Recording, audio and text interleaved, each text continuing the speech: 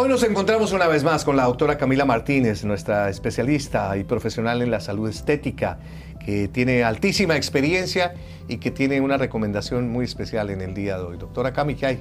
Hola, ¿cómo estás, Hernán? Muy bien, muy contentos de tenerte una vez más acá. Eh, y entrando ya en confianza, por eso la tuteo, porque ya llevamos bastante tiempo siendo familiares, vamos a hablar de un tema muy interesante que entre otras me estaban preguntando algunas mujeres que te dijera que esto del Russian Lips, ¿Qué, qué, consiste este procedimiento exactamente?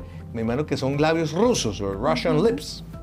Bueno, los Russian lips son, es una técnica que viene de moda hace como dos, tres años y consiste en que los labios sean muy planos y voluminosos hacia el centro, es como en forma de corazón.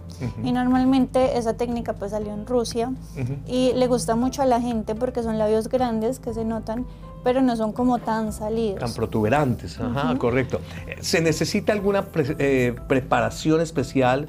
Porque finalmente es una zona bastante, digamos, delicada del rostro después del procedimiento.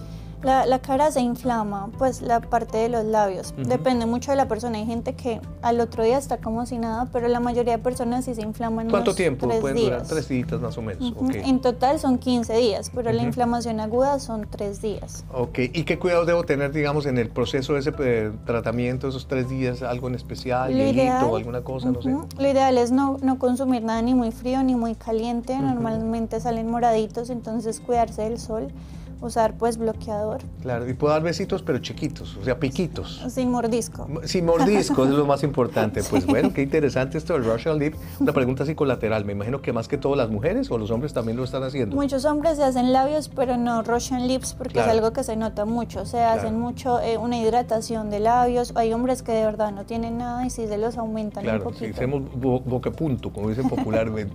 Doctora Camila, por favor, para más información y detalles de este tema, ¿Dónde la encuentran? Nos encuentran en Instagram como dra.camimartínez, en toda la página web es igual, dra.camimartínez. Ahí encuentran nuestro WhatsApp, los números de contacto y aquí en, en la pantalla sale la dirección. Estamos en Usaquén, en Colombia. Esperen en un próximo episodio una cápsula de salud con la autora Camila Martínez.